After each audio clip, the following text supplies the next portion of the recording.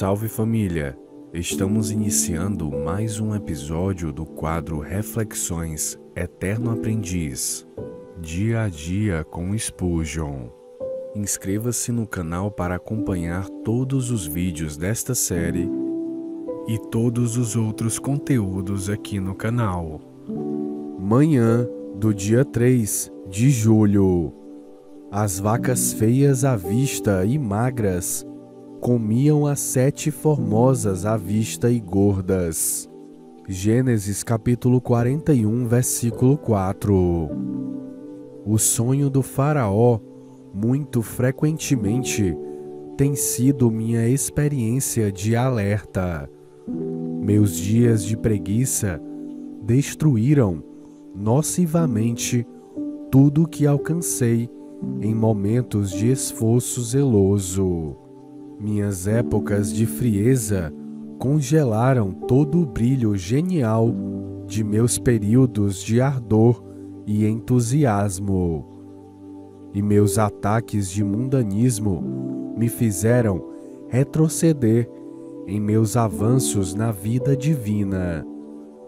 Preciso ter cautela com orações magras, louvores magros, deveres magros e experiências magras, pois queimarão a gordura de meu conforto e minha paz.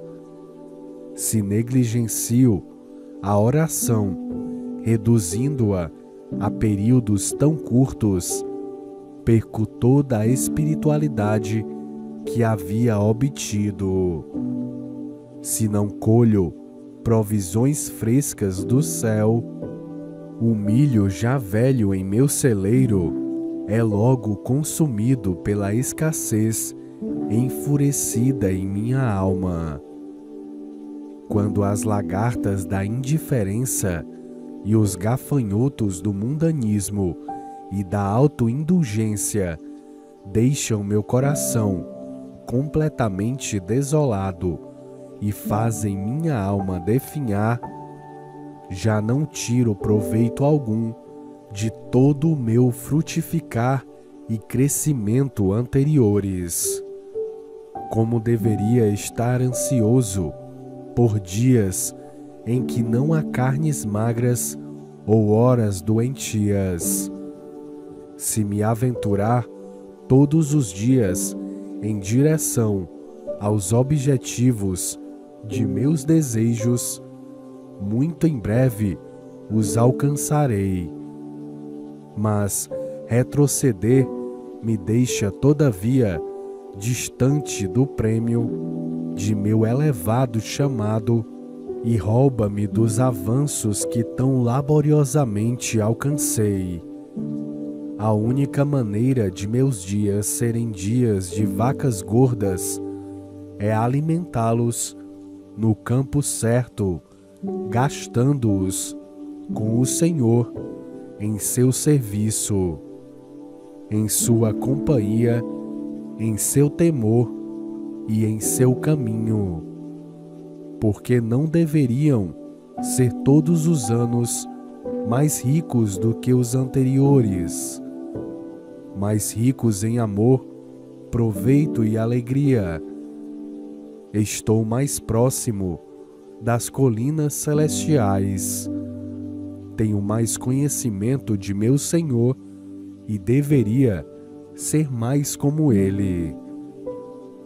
Ó Senhor, mantém-me longe do curso em que minha alma se torna esguia. Não me deixes ter que clamar. Definho, definho, ai de mim mas que eu possa ser bem alimentado e nutrido em tua casa, que possa louvar o teu nome.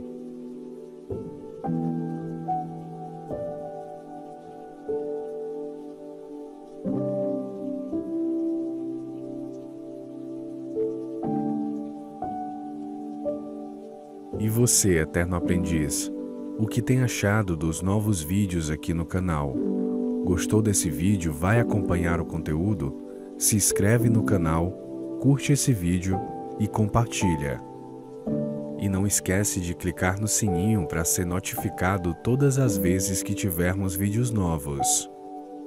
Na descrição desse vídeo, você também vai encontrar esse e outros livros de Charles Randall Spurgeon, caso deseje adquiri-los.